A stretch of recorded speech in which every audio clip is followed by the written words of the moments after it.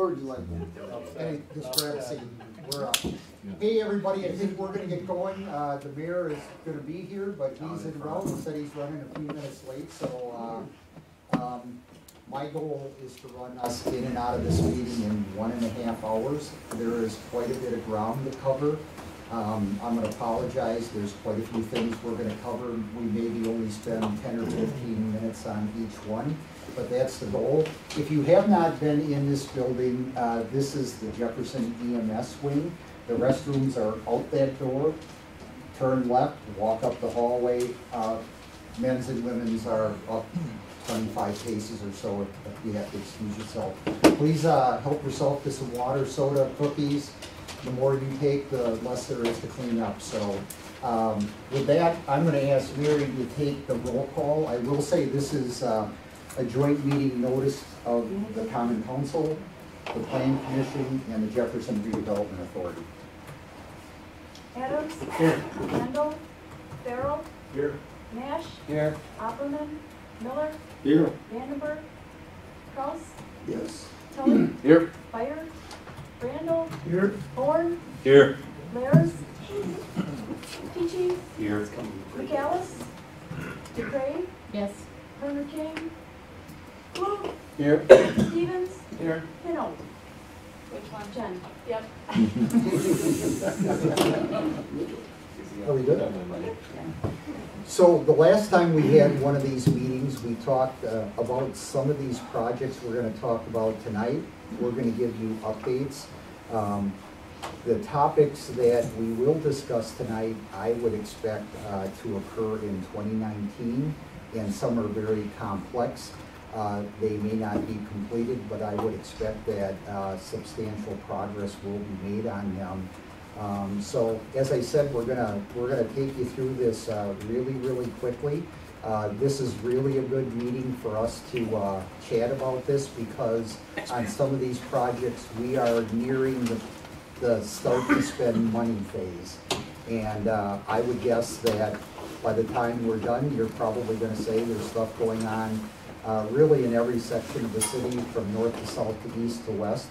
And uh, some of these projects probably are pretty substantially important to the future direction of, uh, of the community. And uh, so with that, uh, we're gonna start uh, talking about a project we last discussed in September.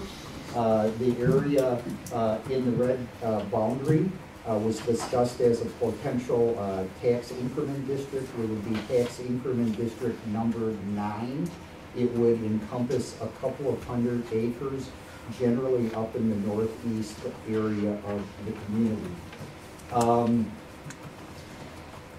It includes uh, an expansion of the city's North Industrial Park. Most of you are aware that uh, the North Industrial Park has no saleable lots. The last two were sold in 2018 to Ron McDermott and uh, Staling's Taxidermist. Those buildings uh, are either completed or nearing completion. So the city has no saleable industrial lots.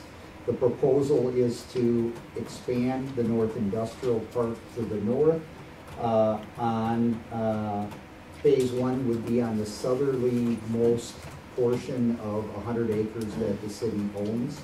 The other portion of the tax increment district that is proposed is up in the northwest quarter of that red boundary, and that is the area around the State Highway 26 bypass north interchange. Bill, you could advance us. We did talk about uh, um, that north interchange project in September. Uh, At that time, we were talking about construction of a gas station. Since that time, uh, there is an investment group that has come forward that is interested in uh, parlaying uh, a fifty-one uh, room hotel on that site adjacent to where the gas station would be constructed. Um, That is the cell tower site. If you're up around that north interchange, there's a cell tower located on the very uh, northern part of the uh, property. Um, That is the site plan that was shared with the common council, oh, it was several weeks ago by the developers. That property has closed, the closing took place uh, last week, Friday. Uh, A fair amount of things would, would have to happen, probably the first quarter of 2019, including uh, a number of local improvals. Uh, There would be need for a land division, a certified survey map, site plan reviews, conditional use permits on both uh, the uh, gas station and on the hotel project. Of the two, I would say the gas station is uh, a little farther ahead than the hotel, but uh, the investor group has been assembled. When they chatted with the common council, they had talked about fifty-one room mid-scale hotel. They identified the brand as either being a Best Western or a Wyndham, uh, Wingate uh, product. Uh, The gas station is a BP gas station, I think that's pretty much set. Uh, Those are the directions those projects are going. Uh, The goal for the gas station is to break ground on that site uh, in late spring, early summer, and then the hotel would follow. So um, the other part of, of uh, the tax increment district is that color shaded area. We're gonna focus on the green area. That would be uh, the first phase of the expansion of the North Industrial Park. Bill is gonna talk a little bit about that. Um, Previously, we had talked about um, needing that property to uh, facilitate a local transaction. Uh, We have one user that's interested in a lot, that is Highway Landscapers. They're located just off Collins Road, just to the north of Basin Manufacturing. And the discussion was that Basin would buy their property for their own plant expansion, and then Highway Landscapers would relocate to a lot that would be created with this first phase uh, of uh, the North Industrial Park um, addition. Uh, That is all very uh, uh, alive. Um, We met as recently as a week or so ago. Nothing's been reduced to to writing, but there is a gentleman's agreement that, you know, should the city uh, create uh, additional industrial lots in that green shaded area. Lot one would be the lot that Highway Landscapers would relocate to. And so if we move the project forward, I would say the first five or six months of 2019 is when we would try to put that agreement between the city, highway landscapers, and Basin uh, Manufacturing in place. I'm gonna turn it over to you, Bill. You can describe very, very quickly um, uh, what that expansion really encompasses. Sure, so this is the extension of North Parkway. Um, on the south side is, is essentially uh, Generac. Um, the extension of North Parkway will eventually reach Dewey. Uh, but what we're talking about in two thousand nineteen is getting about halfway there. Uh, we've identified an approximate point, uh, where a road would eventually extend through. These lots are approximate at this point. Uh, some of the some of the items that are gonna be dictating exactly where those lots are gonna be is gonna be grading, uh, wetlands and things like that. And obviously what lot sizes, uh, we potentially wanna look at there. Um, the overall road extension is about twelve hundred feet. Uh, we anticipate going about halfway, um, or is, is what our budget allows next year. We've set aside about a million dollars to extend, uh, that roadway, um, to that point uh, for next year. And we've got a few challenges to work around with that. Uh, Right now, utilities are extended to the existing North Parkway end, uh, just north of Generac. Uh, The extension here would involve water, sanitary, storm sewer, uh, power, um, up through that point. Eventually, the water, we would anticipate looping um, around, but that's gonna be future phases. Um, The area to the west of that roadway, we have identified as uh, wetland. We're aware that it was wetland, we had a wetland determination done earlier this year. Uh, The extent of that uh, reached a little further east than we anticipated, so the alignment of this road is going to change slightly. Uh, We're currently in the process, uh, because of the fact that we're past the growing season, uh, we won't be getting that delineation concurrence from WDNR until um, more than likely, um, the spring, there's a possibility we could get a winter concurrence, but more than likely that will be the spring. Um, so I'm anticipating the alignment is gonna change slight, slightly. whether or not we're gonna have to do some permitting, it's likely we're gonna have to do some wetland fill. So again, we're working through that process. Um, as far as what the timing of this project looks like, um, December and January, we are, we are anticipating that we're going to be doing the engineering design, town and country engineering. Um, is going to be the, uh, design engineer for us. Um, they are essentially gonna be doing the, uh, plan profile for the roadway alignment as well as the grading of the lots, um, in that area to be able to grade, uh, to be able to make them, uh, ready for the first development. Uh, February through April essentially is gonna be the project bidding, award, and within that time frame is the uh, wetland permitting. Again, that is a, I went through this with the, we went through this with the council last week, but it is a very tight time frame. Everything kind of has to align to be able to get these things in place, but we've got a plan at this point. Um, Once the wetland permitting is determined, uh, we'll be able to verify the road alignment, and then we'll be able to do the platting, uh, likely through, we'll probably just do a four-lot CSM initially, uh, to be able to get the first phase through there. And then we're anticipating a June through November site grading and street utility construction.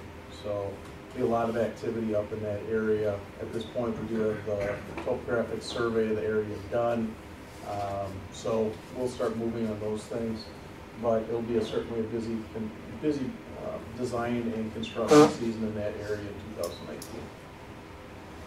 Anything else, Tim? Nope, that's good.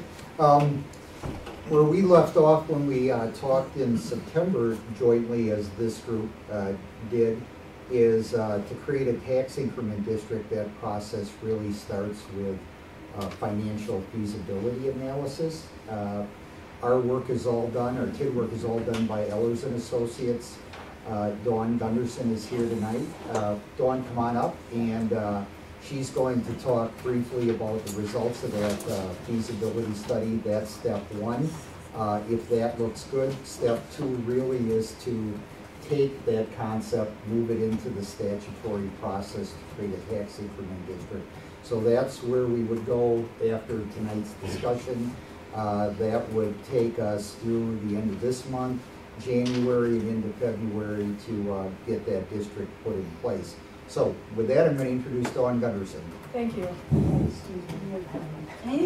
Um, I realize you can't read these numbers, and I don't expect that um, you need to at this point, but I'll kind of walk you through what these schedules are. As Tim mentioned, the county council engaged us to do the initial feasibility um, analysis of thi- of this. So what we have done is we've taken the project costs that have been provided to us by staff um, for not only the initial phase, but the future phases of this development, as well as uh, Vandewalle, um, the planners that have worked with the city um, in the past, provided us with some um, development potential for the area and some um, absorption of that development over a period of the life of the district. And um, what we've done then is taken those numbers and, and evaluated if the potential for that development is able to pay for the cost. Keeping in mind that we've staged this so that the village is not going out, or the city is not going out there and just spending a lot of money, probably like the original industrial park was done, where you put in the roads and the sewer and then you wait for the development to happen. This will be staged that the construction cost, um, or any project cost will go into place about the time that anticipation for development is. So this first phase here, and these will be schedules that if you do choose to move forward with the project plan, that you would actually see in that document. And this is the project costs that have been put together by staff. It's been broken out in phases. The phase one is the two thousand and nineteen project cost, which is roughly one point seven million, and as, as Bill mentioned, it includes some uh, sanitary sewer, water, storm sewer, and some street, um, improvements. There's also, we've identified, um, potential developments and development incentives for the development on the north end of this district, if, if negotiations, uh, show that there's need for that, then, um, that, that would be an eligible project cost, and we've identified it in this, and, um, the ability to support that. The second phase would be the extension of the initial streets in the industrial park, and then the third phase is timed out a little farther where you go to the north end of that, um, the, the uh, industrial piece of the, the development. Then we've identified some ongoing costs, that administrative expenses that help defray any costs that the city has to keep the district running, it could be staff costs, it's auditing fees, so on and so forth. And then there's a few projects that would, um, perhaps necessitate a borrowing and the financing cost to, uh, to take that out during that life, that would be paid for with ongoing, uh, cash flow. So that basically makes up the project cost, um, again, a chunk of that, about one point three is administration and, and, um, the, uh, financing cost, but we've identified about six point six million dollars would be what we'd say would be eligible to related project costs if the district is in fact, um, created. So, Bill, you and speak? So the, the second schedule in this is the, the development assumptions. And again, Vandewalle worked, uh, with the city in putting these together. We've kind of broken them out into different type of components. The, uh, first column is, was mentioned as the gas station up on the northern end of the, the district area. The second is a hotel, so it's expected that maybe construction on the gas station will be starting yet this year. The hotel, um, being constructed and completed in twenty twenty. Uh, now, some of that timing may adjust. There's some commercial lots as well up in that northern end that we've, we've put about two million dollars of value assigned to that. And then the, the big thing in the longer duration of, of um, absorption and phasing is that manufacturing piece or that industrial piece, which is that northern section of the uh, entire district boundaries. And there's two, two lots that become pretty developable once that first phase goes in. Um, now I've got lot numbers when you ultimately see this that ties to a schedule that Vandewalle did, so it's kind of reverse of what Bill's lot numbers are, but, um, I did that so that I knew I was accounting for everything and timing it out properly. And then the second phase would be when the second extension of that, the, uh, initial street goes in and the utilities. Um, we've kind of put for now a placeholder in twenty twenty-four where the development would start happening after that point in time.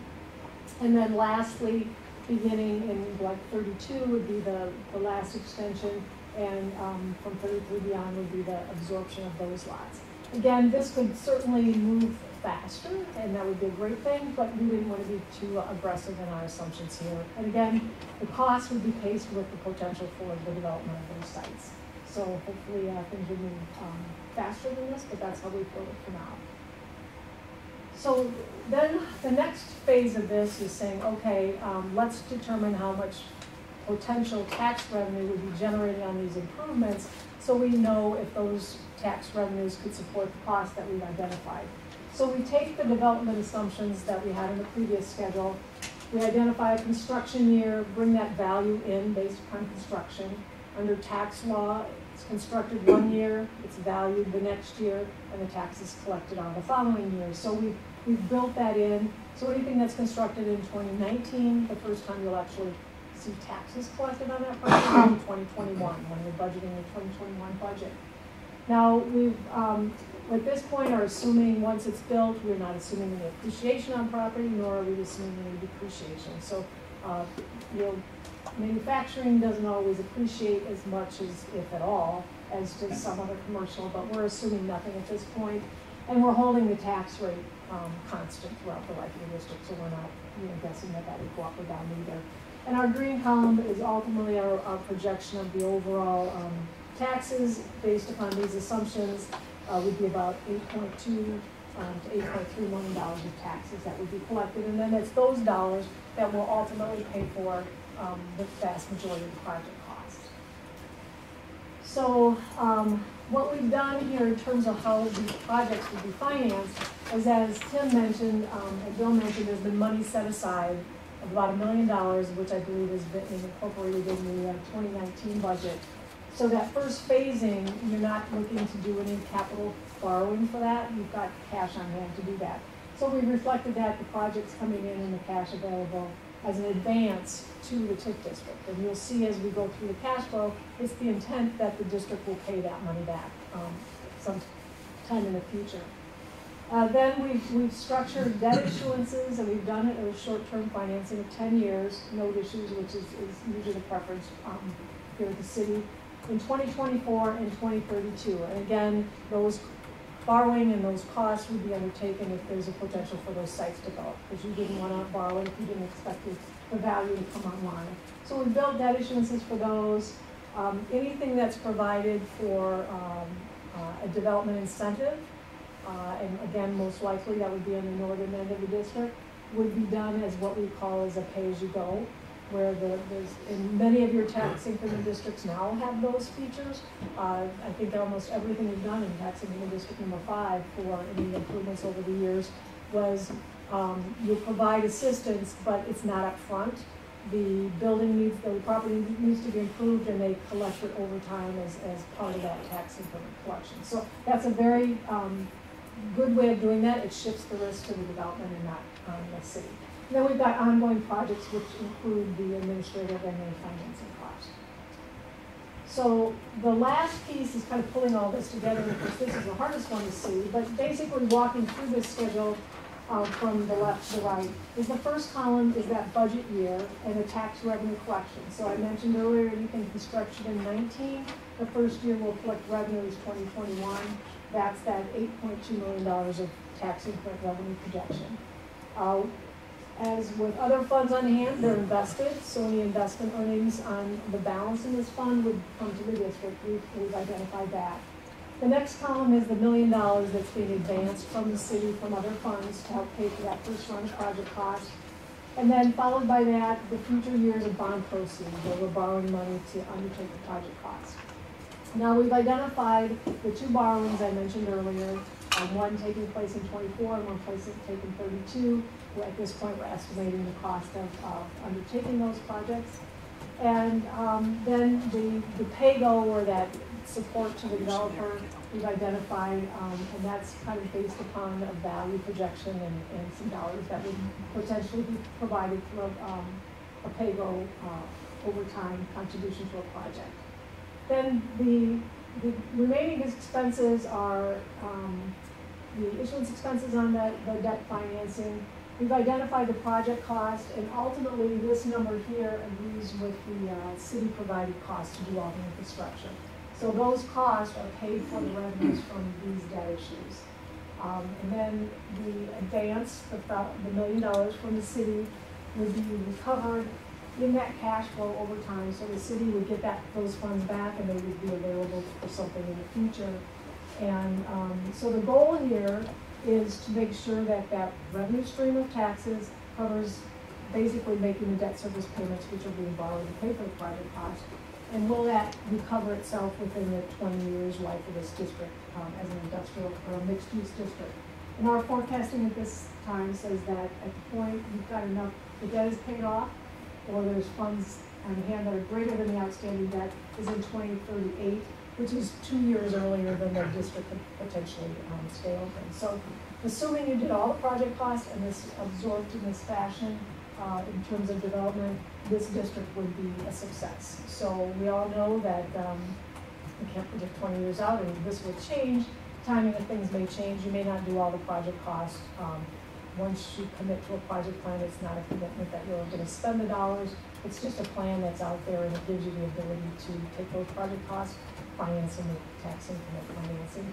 And the benefit to that is you're not just using your city dollars, is there's a sharing of those costs by the other taxing entities, because you get the benefit of a full tax rate, not just the city's rate to undertake these projects, so.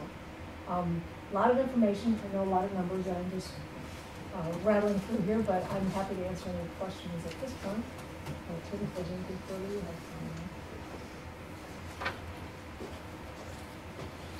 if you could go back to, uh, go back, go back to the, the slide that had, the, the different colors in the park.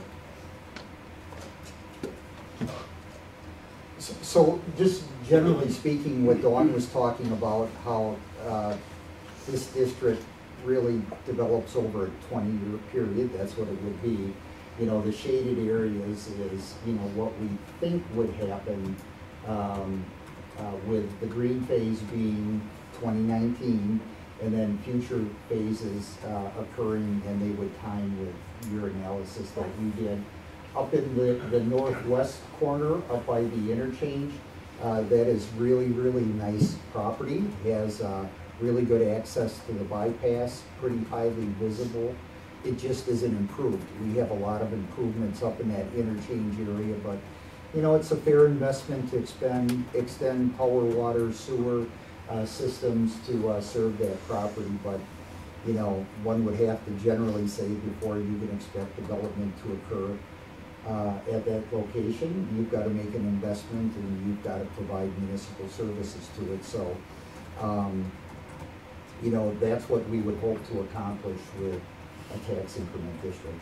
So I think our plan is, uh, unless there's, uh, really an objection, we would start the next step, which really is to take, uh, the project into the statutory process, lots of meetings, uh, public hearing, uh, along the way to try to have the district put in place, by February, I think is our timetable. And quite honestly, to make things like that industrial park expansion and even the projects up on the, uh, the, the northwest, uh, portion, the gas station and the hotel, you need a tax the district.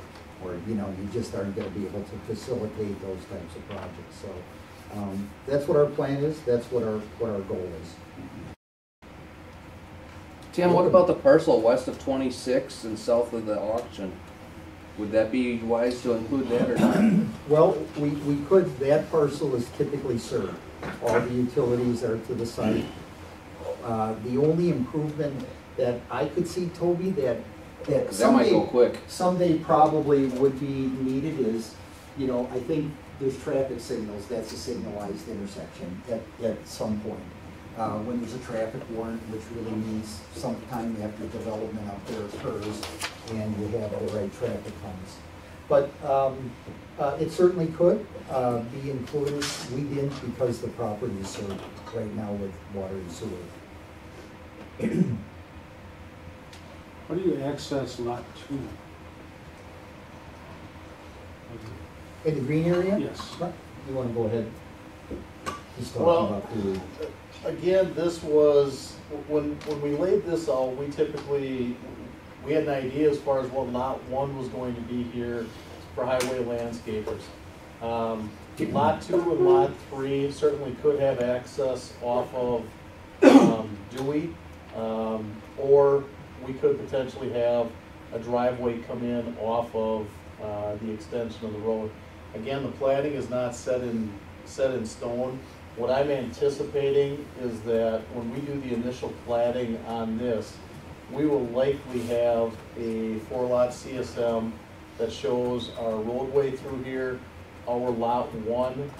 Um, everything north is probably going to be one lot, and then possibly, um, lot two and three. And we may just, um, include a flag lot off of, um, the road extension so that we can include a driveway off of, uh, the road right, right through here. The main thing we wanted to do is, say for a typical industrial lot that we are going to be seeing somewhere between five and eight acres, how many lots could we get off of it for a project plan?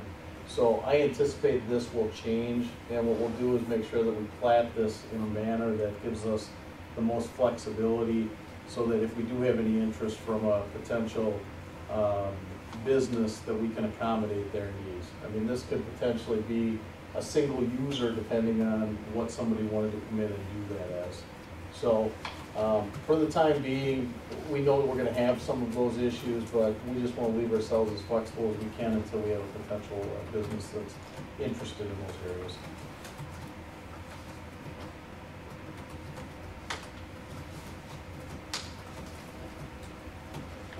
thank you, Dawn. Welcome there. You gonna take over?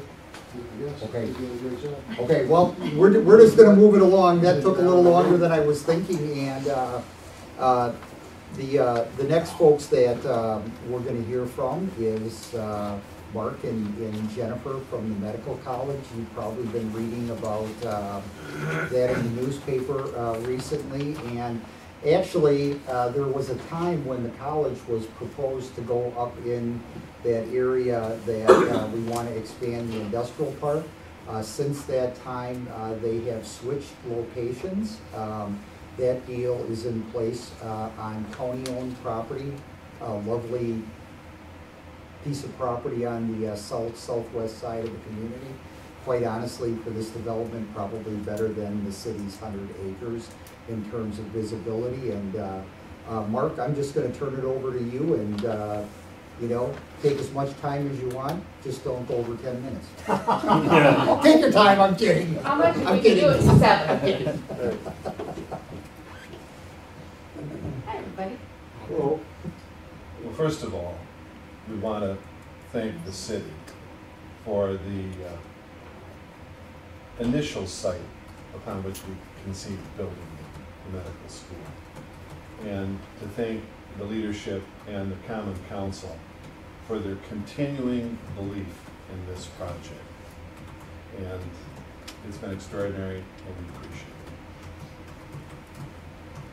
it. When we first thought about that hundred acres, we also actually thought about this site down the road in terms of the ultimate evolution of the college, because we are beginning with a College of Osteopathic Medicine, but we thought there would be a time when we would become a College of Allied Health Sciences, and that we would aggregate other academic partners and potentially corporate partners to be engaged with the college.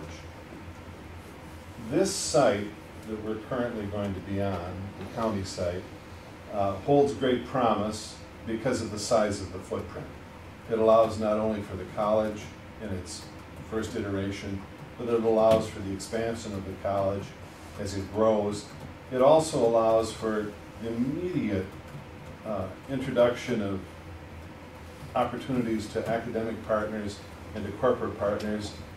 When we wrote the application for the new market tax credits, we talked about a campus that would evolve into a research park. And that probably is exactly what we're talking about here, a footprint large enough to hold all of these opportunities. We were also challenged by initial funders that we talked with, philanthropists in Wisconsin who support other colleges, and they would say, this, this is your hundred-year shot, that uh, you need a footprint large enough to accommodate the growth that you're going to have as you move forward. So, this is the plan. Bolt is still with us. They've been with us throughout this process.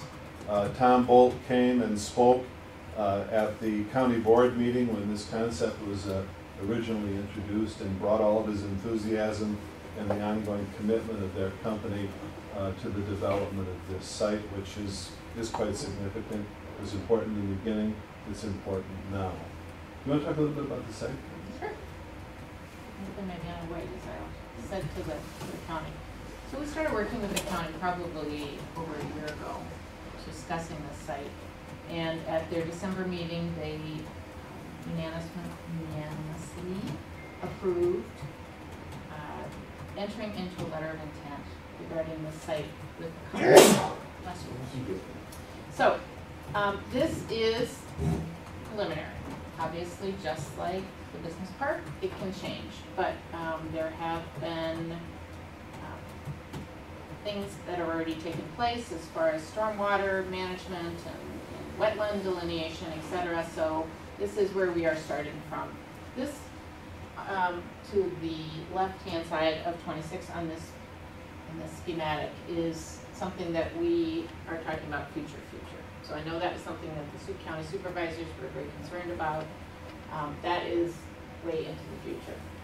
Anything here is we're talking about the county's expansion, all the county services currently exist here. This is, um, mountain bike trails that were just put in this last year.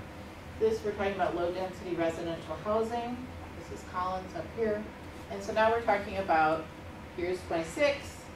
This is, there's already a turnoff for, for the college. These are roads that are going through. So the purple, periwinkle, are all what we're talking about college, college sites. It's about seventy-five acres as it sits right there. So the buildings that are in red, hot pink, are what we envision to be the initial buildings in the project. This is the main administration and teaching building for the osteopathic college. We initially talked about having some of the, um, a wellness center and a clinic on this side, but the more we thought about it, we're talking, this is looked at as a county park expansion, this is the Potter's Field that currently exists and will stay, obviously. And when I started thinking about that, we started talking about it, um, we need parking for this this county park, having a wellness center on this end allows you to build outside activities for people that take advantage of the wellness center. The free clinic site is across from where the free clinic is currently for the county, so that seemed to make a lot more sense than putting it down here. We're looking at this for future expansion, parking. These are also what are envisioned for future buildings as we talk about that College of Allied Health. And here we're talking, we have student housing available. That is something that's incredibly important, as we've learned as we've gone through various discussions with different osteopathic colleges that currently exist. The aqua or stormwater, the green space will remain. We've talked about maybe putting some sort of outdoor facility that students could use for lectures or the community could use for a community theater here. What we're trying to preserve is this Visual path. vis- well, I was thinking gateway, but yes, Yeah, this visual path from Highway twenty-six to the main campus of the college here. The hot pink, the Easter pink. The Easter pink, um, are the possible academic partners, whether they be corporations or, um, the Healthcare system. healthcare system that would come in and um, surround the college, and there then would provide a research firm. It's been true for the last four years, and it's even more true with this recent media coverage of this project, that boy, is there interest. Uh, The next, really, year and, and beyond is involved in, in getting through our accreditation process. Part of that is also recruiting your faculty, and beginning to set the storyline to get students to matriculate. We hear from faculty all over the country, distinguished faculty from all over the country, who are interested in coming to Jefferson to teach at this college. The American Osteopathic Association is excited that the upper Middle West, the Midwest proper, which has been kind of bereft of osteopathic medical colleges once, you know, you get beyond Des Moines, you get beyond Chicago and the upper Middle West. So they're thrilled that, uh, you know, this footprint is coming in here. So there's a lot of excitement there in terms of working with us around uh, accreditation. So the enthu- enthusiasm is wide. I was gonna say, having Highway twenty-six and the cutoff here was just a portion of why we were very interested in this site. Um, this site has been designated as one of two in Jefferson County as economically distressed. And it's now an opportunity zone, which were designated by the federal government, that's something that's new. In addition, we were, uh, the college was invited to be on an application with WHEDA for new market tax credits that would come from the United States Treasury. We were one of two projects that were picked in Jefferson County for that, and we will, should be finding out actually in January whether the state of Wisconsin received any of those tax credits and then how that funnels down to the different projects that were on the application. You know, we've been talking from the beginning about this project being one where it follows this consortium funding model, which we've always used.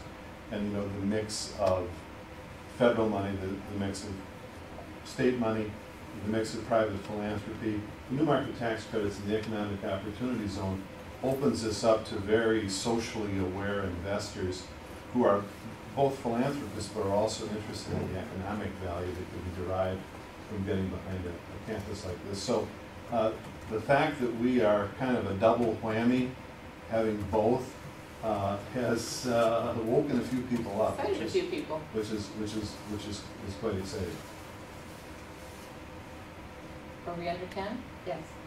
Since we're under ten, for the new people in the room, give your name. Can I find out who you are if we didn't mention names? Sure. Um, I'm Jennifer, and the last name is DeKrey, it's D-E, capital K-R-E-Y, and I live in Jefferson. Okay. My name is Mark LaFave. Good luck.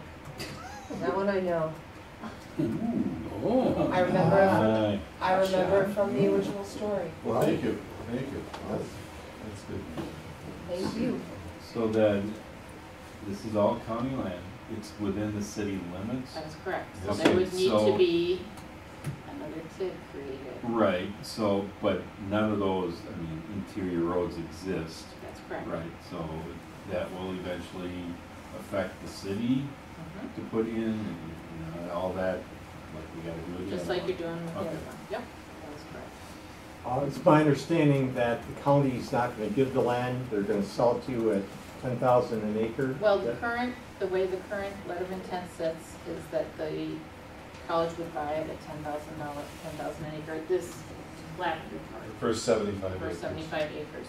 However, there will be some in- incentives, economic incentives, um, if the college brings in an academic partner, for example, that purchases this lot and this lot, then it's possible that the price to the college either could be refunded or reduced. And, and governance of this is seen as a collaboration among the City, county and the city and the college, so. Well, do you have some sort of option or right to buy these, uh, additional, uh, acreage? That, that is currently the, the letter of intent is the, the county's portion. We have certain things that we need to make sure that they are done by certain dates, and the county is at a standstill. So, Stand still, did you say? a standstill on doing anything else with the property Oh, okay. until we- we- we've met all of the criteria. Anything else? Thanks for the opportunity to Thank you. come and Good luck. Good luck. Yeah, Thank you. Thanks a lot, Mark Yep. and Jennifer. The, uh, the next person I wanted to introduce, Ken, why don't you come on up and, uh, and uh, about a week ago at the Plan Commission, um, the, uh, the folks that uh, have the, we know it as the Excel building out on the west side of the community, uh, the folks that have that property under contract to purchase came in and uh, shared their vision. Kent is actually, I think, the realtor uh, that is uh, representing these people. And actually, the PowerPoint we have queued up is the same one that you shared with the Plan Commission last week. So, uh, Ken Yan. Yep. Oh, good evening. Um, I'm usually, I, I used to sit on the bench on this one, so I'm really kind of, not the best place on this one. But, um, Maple Construction, um, they actually recently moved from Madison to Cambridge. Um, and, uh, they're, a family-owned company, and the father of the family really likes soccer. And so when we saw this up up for sale, probably a year ago now, we, uh, we looked at it and, uh, thought, hey, it might work. Um, could do a project here, looked at. Know, as you know, it's about an acre open shell the building right now. And so, about maybe a little bit following, uh, the, the listing agent, um, called us and said that, you know, there might be an offer coming in, so we put an offer in and we got it accepted, actually. And the idea that we have right now for is that we have to first secure it and close on it first, which we're working on, is to, rather than, uh, I think the original concept was to have a track and field and some baseball diamonds. Uh, they actually want to put in an indoor soccer field, but still have the two, well, the bigger basketball uh, court and then two smaller basketball courts as the original plan was. Um, but now, we don't have any subtenants under that, Amigo Construction, not the construction company, but the ownership of it, would actually have their own separate entity to actually run the, uh, the basketball courts and the soccer fields as well. Um, there's about roughly tw- ten to twelve thousand square feet of remaining space that we were planning to white box and rent out to other businesses. One of which we have in Madison is a CrossFit, uh, concept that one of the owners of Amigo is actually friends with, and he's kind of interested in coming in with it, and then the other one, where we don't know yet. Um, so all that is still in the works. We have to, of course, close on the project, close on the property first before we can do anything. Uh, we have gotten estimates so far, um, it's adding up to quite a bit, but, um, ideally, in a, in a, in a streamlined world, when stars are aligning, the idea would be to come back in, in the late spring, summertime, start construction, and hopefully have an opening around this time, two thousand nineteen, pending approvals and permits and all that fun stuff. So, still, it's, uh, it's all in the works right now, but ideally, it's the same thing that was going to happen, I think it was two years ago, was presented, or that it was. Um, except that instead of a, you know, track and field, it's more of a soccer field instead, this is the only main difference, and of course, we, uh, we have ten thousand-ish square feet of unknown right now, of, uh, going in there. So it will be an owner occupant building with possible retail or office use, or clinic use, uh, in addition to that. So, in a nutshell, that's what we're shooting for. When you project to uh, close? Hopefully in the next uh, week or so. Oh, But, well, uh, we're st- well, don't, don't, don't jinx us that, please. Okay. Uh, So we, uh, we're, we're, we're working on it. We're, So uh, before the end of the year? trying to, trying to. I would just say too, as far as the process goes, um, again, they met in front of the planning commission last week. Um, the conditional use would transfer over when the, when the, uh, project closes. Uh, they will still be required to come back in front of the planning commission, uh, with their own plans. Um, obviously, they can't use the existing plans that are out there, but, um, they talked to us, uh, having their own civil engineers, architects on site, do their own plans, so, um, the planning commission will be hearing more about this, um, later in the spring, summer when they close on this. Um, so I just wanna make sure people are aware they still have to go through that process, but they're well aware of that. So that's a full-size soccer field? Or? I don't know. Um, It's, uh, I don't know the exact dimensions of it. I don't know Um, what areas. Yeah. I know they're bigger than the football field. Yeah, indoor- Wanna run it? Indoor's a little different. Yeah, indoor is a little bit different, but I think that, I think where it will be at. Uh, future plans possibly include exterior, another building or something, but Yeah. that's way down the road. Yep. Thank you so much, Ken. Yeah, thanks, Ken, for that. Can you please repeat your name? Thanks, K E N T, Yep. last name Yan, Y A N. Y A N. Got it, thank you. All right, thank you much.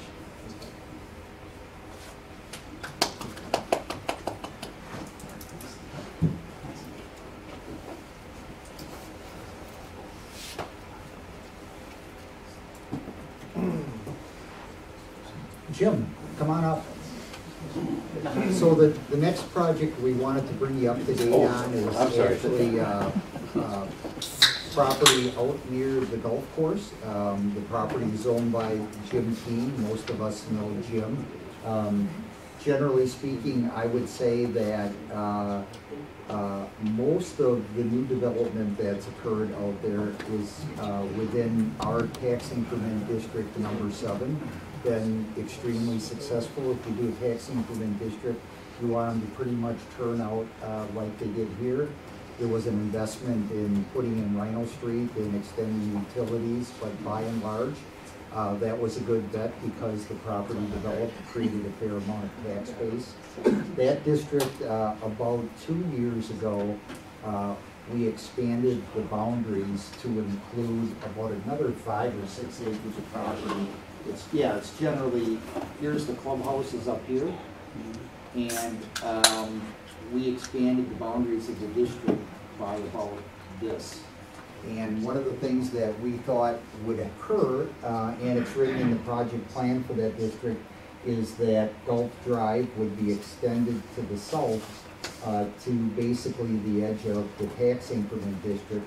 And from that point on, the road would really be private and it goes through a piece of ground that runs right through the golf course, uh, all the way from north to south basically, and connects, uh, on the south side into Clancy Street. And, uh, if you know the piece of property, you know that it sits up high, it's a ridge with really beautiful views of the golf course. Jim's vision really has, uh, always been to develop that for residential home sites or duplex properties. Um, a couple of months ago, uh, Jim had this preliminary, uh, plat developed. It was approved by the plan commission.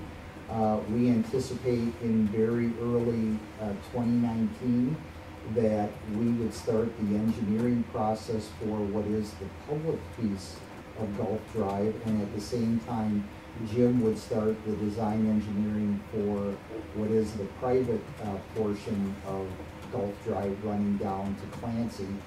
Um, and it's not just the street extension, you know, you, it's the full utility extensions, power, water, sewer. Uh, it's not cheap to do all that, um, but I think that's the goal. The city has a shortage of housing. And uh, this is one project that we think would be really, really desirable. And uh, Jim, I'll, I'll let you spend a few minutes chatting. Yeah, up here, uh, Tuesday night, I met with some uh, guy that wants to put up a RCAC apartment building, forty units up there on the golf course. It'll overlook the golf course, it's right next to them condos I put up up there. And, uh, I, I talked to you guys a little bit about it, but we're hoping, uh, we'll have some plans up by sometime next month, I just talked. Peter West is gonna do the architectural work for these gentlemen. They own them two, uh, CBRFs in the, down there, they, they're out of, uh, one's out of Racine, the other one's out of, uh, Sheboygan up there, they're very, very, very interested in coming in here. So, and, uh, the, right here is where the, uh, this is what we're gonna call, uh, a private drive-through here. All this is gonna be no curb and gutter, no sidewalks, but we're gonna make the road wider, we're gonna put cart path on the road, so if anybody's in there's got a golf cart, to drive it on the road.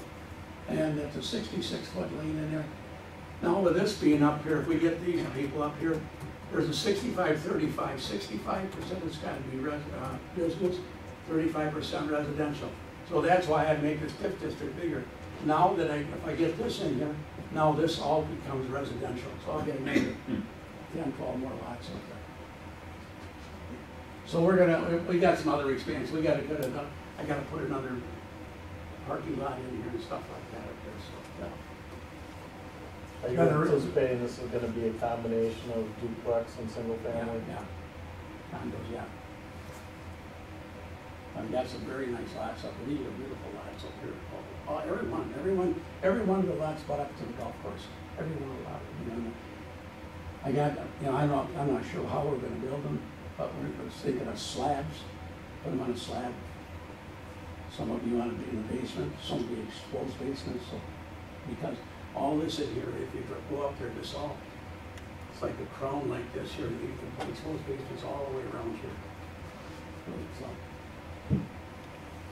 So typically what, what happens with this is, uh, the, the property gets into design engineering. Uh, once that's ready, Jim would come back, uh, would ask the plan commission to approve a final plat of subdivision. Um, and then kind of the next step in the process is to bid the project out to start the physical construction of the street and the uh, utilities. And my guess, Jim, you know, uh, it may very well occur in uh, phases, otherwise you're spending a ton of money creating a huge inventory, more than can be absorbed in our market. So I think probably this happens more in, uh, in, in, in phases. And tell them, Tim, you, you, in order, to- the city is going to loop the water around for me on that whole project up there. So it starts way up, starts way back here, and loops it all the way around here, comes all the way, it's like almost four thousand lineal feet of, uh, of roadway and, and, uh, sewer water and stuff like that, so, thank you. Good job. Thank you, Jim. The, uh, the next project we wanted to, uh, talk a little bit about, and Cindy, um, um, you're gonna handle this one, is really a city project that, um, we are involved with Jefferson County. Pretty, pretty unique project. Um, we are combining our efforts. We do have an intergovernmental agreement, and we want to develop a portion of what we all know as the former county highway shop property. And the portion that I'm talking about is the river frontage, uh, most of which sits in the floodplain, so it's not like you can promote uh, the development of private improvements along that stretch of property. Uh, When we last talked about this in September, I think we said we had written uh, two grants, uh, the city did. Um, And Cindy can tell you about the status of those. And, uh, but we anticipate, uh, if the funding comes through, that um, this is gonna be a 2019 project. We'll talk about the timetable after you're done, Cindy. Um, yeah, so like Tim said, we have an intergovernmental agreement with Jefferson County on this. um, They're the property owner. They're the property owners, so this would be the first city-county park. Um, So we're kind of excited about that. We did write two grants. The first one was a recreational boating grant, we did receive notification that we did receive that grant. It's a fifty percent match at fifty-eight thousand, um. That grant typically is actually to do the trailer, and I'll try to use this, might be a little easier. It's going to be for the trailer parking and the boat launch, along with the public piers. So that project will be just this section. Um, Then, we did write a stewardship grant, and in order to submit the grant, we needed to make sure that we had both our DNR and our Army Corps of Engineer permits. We have now since received those permits. Um, we did get notice that the stewardship grant, um, has been received with some caveats. Uh, Because it's over a two hundred and fifty thousand dollar threshold, it has to go to the Joint Committee on, um, Joint Committee on Finance at the state level in order to approve. So we're, they are about to we're gonna receive a four hundred and thirty-four thousand dollar grant if the joint committee approves it. Um, and because of the election and everything like that, they opted not to take our request to the joint committee until after January seventh. So once the new committee gets on place, then they will have a fourteen-day passive review period. In that review period, they can decide if they want to approve it or if they want to take it on to a public hearing. So if they take it to a public hearing, then we'll be asking the mayor and um, some of the city council to go to joint finance on our behalf. Okay, well. So what happens next? If the joint committee of finance approves, then we can start to sign our grant contracts and we can move forward. Um, the county has a contract with R.A. Smith already for, they procured them for their engineering work. So we will have R.A. Smith begin our engineering work for the park process. Um, we will be in conversations with the county to amend the intergovernmental agreement, and the reason for that is that there's things in that agreement that we still need to talk about. As far as, we've talked about, the county will own it, the city will do the day-to-day maintenance, but there's other little details in there that we wanna work on. The total co- cost of this project is a one point one million dollar project. Um, this is gonna be a great thing for our city, and it's right on the river. It- This park is gonna be a, a nice passive park, we'll have trailheads, parking, and it's really going to help spur the private development. Because we feel that if you have a developer come in, they're gonna want, this is a huge asset for them. So, that's kind of what we're looking at. Um, the city is going to build the, uh, the road adjacent to the park. This will be our section right in here to build. Um, monies for this have been appropriated already with the TID number five fund, um, project. And, um, we will be doing all, because we applied for the grants, we will be doing all the grant administration on this. I thank you, Cindy, and I, I think that, um, it really is a great project, really taking a piece of property where there has been no public access for literally a hundred years, and, um, uh, you're gonna create public access, uh, in a piece of property you really can't do much because it sits within the floodplain, and, uh, I think really that's why it scored so well, plus the fact it's really close to downtown and, you know, has that residual, uh, benefit as well. And I think Cindy's right, and uh, just having spoken with a number of developers, that the idea to develop the rest of the old County Highway Shop property, you're really light years ahead if we can figure out how to put uh, a park along the waterfront portion of that property. But that is our goal. Uh, We intend really to start that process along with the county in twenty nineteen, and ideally, by the conclusion of next year, uh, really have phase one of, uh, the project completed. Cindy, before we just move on, I'm gonna ask you just to talk a little bit about what does really phase one include? I'm gonna hold this up, so, um, phase one of the park will include the boat launch, the trailer parking, um, public piers. We'll also be putting in this parking lot, um, And the, the public street will be the main phase one, and then we will be putting in, for the grant, will be all the grass areas and the restroom facilities as well, so. Will the uh, Riverwalk uh, ever be connected to this park at some time, point? Um, at this point, currently, the plan is to do an on-street connection, but it would be nice if we could. Jennifer? You said the total cost of the project is uh, about one point one one two million. Mhm. Um, you've got roughly five hundred thousand secured in the grants you're hoping. Where's the additional funding coming from? Um, that money is coming, some of it is for, um, the, uh, the match will be through the county and through Force account number. What was the last? Force account, meaning they'll be working on helping, like grading and things like that. Essentially, it's match funds between the, uh, the city and the county, we have to match. So in other words, the, city and uh, county help. Yes. Thank you.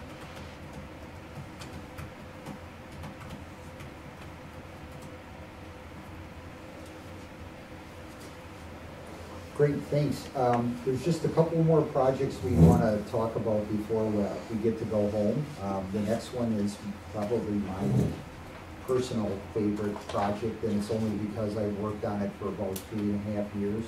That is um, the idea uh, to take the old foremost buildings property and convert it to approximately thirty-six uh, historic dwelling units the developer that we've been working with that has the property under control uh, and hopes to close by about the latter uh, part of summer is uh, the Gorman uh, Companies, pretty large developer. Uh, No neophyte, uh, they do these types of complex projects fairly frequently throughout Wisconsin and really the Midwest. um, Where they take old industrial properties and they try to convert them to uh, multifamily dwellings. So this one is extremely unusual in that um, the redevelopment authority, starting the process about three years ago, um, started to do work to determine whether the property would be eligible for the state and federal register of historic places. And lo and behold, uh, it was. Uh, the property was nominated, that work's been done, it is on the state and federal registers. And it's really not due to architectural uniqueness, uh, but because this is really the last of, uh, I think there were five separate companies that uh, comprised uh, the Schweiger Manufacturing uh, Company. This is the last remaining building of historical significance. The rest have been lost uh, over time. Um, So, and of course, I, I think most people would argue that that company was, uh, contributed significantly to the development of the community. Um, And so, uh, that really is the reason that, um, um, it got added. Bill, if you, uh, just advance us. I can tell you to do this, it's really, really expensive. It is impossible in small markets like our communities to do these projects unless you get lots of help. And uh, I really have to commend Gorman, they've been at this for a long, long time. Uh, They've assembled about nine point seven million dollars to uh, convert this property from a variety of sources. You know, you're stacking capital on top of capital to do this. And I'll just take you um, real quickly through these. These funding sources are approved, they are in place. The first one where it says LIHTC, uh, those are tax credits that are awarded competitively from WHEDA, uh, uh, a State Department um, um, level agency. The value of those are just a little under five million dollars. Those credits are awarded, a company like Gorman takes those credits and they sell them typically for about sixty to seventy cents on the dollar, and that's money they bring into projects like this. Um, in return, they have to take a number of those units and set them aside for affordable housing. So in this case, a minimum of eight of the thirty-six units will be set, set aside for affordable housing, which typically is defined at about eighty percent of median income in, in Jefferson County. Uh, The next line, federal state historic tax credits, because it is on the federal and state registers, a portion of the project is eligible for a pretty nice tax credit. The value of that is about two point six million dollars. Uh, WHEDA will be holding the first mortgage in the amount of about four hundred fifteen thousand. FHLB is the Federal Home Loan Bank from Chicago. Through a competitive pro, uh, process, they were awarded about six hundred thousand dollars. Um, Gorman is deferring their development fee of 221,000. The city of Jefferson previously approved a five hundred thousand dollar loan. I would term that as favorable, uh, terms, um, from its affordable housing fund. The city has a fund that, uh, it can use these monies only specifically to promote affordable housing. We've been saving those for quite some time for a project like this. This was the project. And then lastly, uh, and just recently, uh, the Home Consortium, which Jefferson County participates along with Waukesha, Ozaukee, and Washington. Uh, county awarded state home funds to this project. Uh, that's a loan in the amount of five hundred thousand dollars. Uh, the nine point seven million dollar number at the bottom on the total columns, that's the cost to basically repurpose the building as it stands now into approximately thirty-six, uh, historic apartment units. That money is in place. What is not in place that I'm gonna talk about right now is a portion of this building sits within the Rock River floodplain. Cuts through, uh, a corner of the building, but by virtue of, of just a small portion being in the floodplain, it basically takes the whole building and, uh, treats it as non-conforming. That has to be dealt with before this project, uh, uh, can proceed. Um, one of the things that makes this a little different from projects like the Jefferson Area Business Center on the other side of the river or Heron's Landing, where those buildings were in the floodplain or significant parts of those buildings were in the floodplain. The lower elevations were filled in basically to elevate above the floodplain level. We can't really do this because the whole first floor of this building is proposed to be indoor parking right? A really good amenity in our climate, so you can't fill it in. So the way that we've worked this through with the DNR is basically to remove the property from the floodplain by putting a levee system around the property. Not done too often in this community, but if this is done, uh, it would remove the property from the floodplain forever, probably a pretty good thing. It's just expensive to do that. It's about a half a million dollars that really has not been accounted for. So if you want to add that to the nine point seven, you're talking over a ten million dollar, uh, project. That's what we are working on now. Bill, I don't know if you can get the video, uh, to play, but the, uh, levee is a combination, uh, sheet pile and earthen, uh, levee berm systems.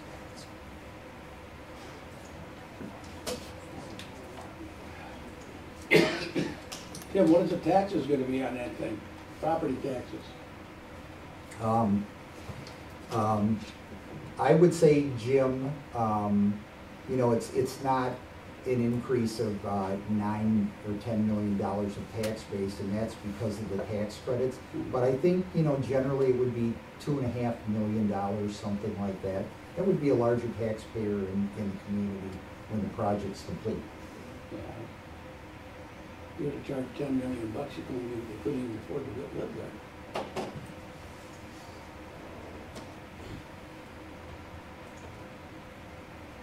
Did we run through it? Yep. Oh, we did, okay. So, um, I just wanna cover this ground really, really quickly. Uh, the project needs, uh, an additional half million dollars, so, uh, the strategy is that, uh, a couple of nights ago at the council meeting, they did authorize, uh, the city to submit on behalf of the project a grant application to WEDC, WEDAC, in the amount of two hundred fifty thousand dollars. for what's called a uh, Community Development Investment Grant. Uh, That's not a loan, it's just a grant. It's a process we have to go through. We anticipate um, submitting that sometime before the end of this year. Um, The city uh, also increased uh, its housing loan from half a million to six hundred fifty thousand dollars. We have those funds on hand. Um, And then the last hundred thousand dollars is assumed by the Gorman Company. So um, if we get the grant, and we may not know for a little bit, um, that's the last piece I think we're waiting on. So the one thing I would say, if you go back to that, if you look at that uh, LIHTC equity, those tax credits, the key for this project to happen is the project needs to be completed by December thirty-first of twenty twenty. If it is not, those tax credits go away. Um, they're competitively awarded, uh, by WHEDA. And I can tell you, if the project loses those credits, you're not doing this project. You know, that's a big source of funding. So our goal is, um, to try to put everything in place for this project to start, uh, midsummer of twenty nineteen. And then it will take about eighteen months to complete. Uh, so the goal is to have it complete, an occupancy certificate issued by, uh, December thirty-first of twenty twenty. So that is our goal. The other thing that I would say that's a little bit beyond our control is, um, getting a piece of property out of the floodplain is a process that involves FEMA. And so right now, uh, that berm has been engineered, the application has been submitted by Gorman. Uh, we're about in the middle of a six-month re- review period by FEMA. Uh, but we're encouraged because the DNR is supporting that application and, um, you know, the goal is to take the property out of the floodplain. We just need to work it through, uh, but, uh, for the project to advance, in addition to the additional money I just talked about, we need FEMA to approve that application so that, uh, at its completion, when the levee is constructed, the property is taken out of, uh, the floodplain by virtue of basically amending the floodplain maps for uh, that piece of property in the city. But um, this is a fun one, pretty significant. Um, Someone asked about uh, the Riverwalk. Part of the goal of this is we want to extend the Riverwalk from Rotary Park, complicated, along the river, cantilevering out over the water to this site, which is just north of uh, the Highway 18 bridge. And once we get to the property, we want to extend the river walk on an easement that we would get from Gorman between the levee wall and the water's edge, up to the, up to West Candy Street. And from there, we would need about two blocks of Surface Street over Elizabeth Street. But then it gets you to that county highway uh, property park that Cindy talked about, and that has a trail system. And so the goal is to really, in the next couple of years, really be able to extend uh, the city's Riverwalk system in a pretty meaningful, pretty meaningful way. Um, But that is the goal. Um, uh, Any questions that you have? I think we have one or two more projects that we'll mention, and then it's gonna be time to go home. Yes? Just real quick, um, would it be possible to approach the, the owner of the property between the park and this project and talk about possibly putting that, walk through that backyard here property of this? I think it would be. Uh, that might be a good suggestion. Um, also, um, I know, I think he owns Jefferson Glass Company. I believe you're Um, right. I don't know if his property is zoned residential or business, but I live right across the street and there's trucks there every day. And he's putting windows in his garage. Hmm. So it's being used as business and residential. Might want to approach him. Yep, thank you, thank you very much. Yep, that gets us up to the city's boat launch on Yes. Canada Street. Any other questions? The last project, uh, I'm gonna have Bill mention, and then I have one more thing for the council I have to ask you, but you go ahead, Bill, why don't you handle the next one. I'll just mention this at the last plan commission meeting, uh, last week. We had uh, O'Reilly Auto, uh, they've been interested in Jefferson for several years. Uh, they looked at a couple different sites and they've settled in on the, uh, uh, former Ace, Punzel building. Um, And last week at the plan commission, the site plan was approved for this. Um, essentially, they're gonna be using the exact same building footprint. Um, the parking lot, they are gonna be doing some, uh, improved drainage and resurfacing that lot. Um, as far as timing on that, we were not providing any timing on that. The, uh, city engineer, the civil engineer did, um, indicate that, uh, um, just kinda gave us an update as far as coming to town, certainly excited to be here.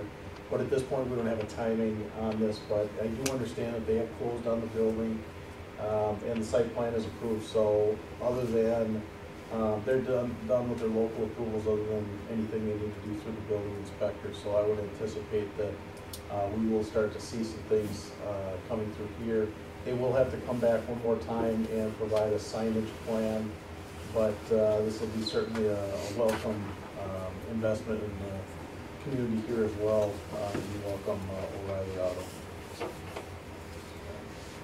Last project I would uh, mention, I won't name any names, but um, more likely than not, there is a residential, I'm sorry, a commercial uh, project uh, the first quarter of next year that will get in front of probably the plan commission and the council, maybe the RDA, I don't think so, uh, down near the Tyson store on the south end of the community, uh, probably involve a minimum of two users.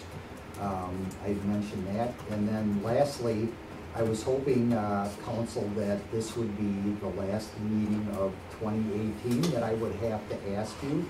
Uh, but I think I have to ask you to meet next week on Thursday at five o'clock. And I'm just gonna describe this really generally. Um, the, I don't know, Toby, what do we call this? It's the Huntington First Merit Citizens Self. Depot Bank, The Depot. Depot Bank, um, is under contract. The closing is scheduled to happen. It's for a commercial reuse, office reuse. There is a problem with the right-of-way that the council would need to take action.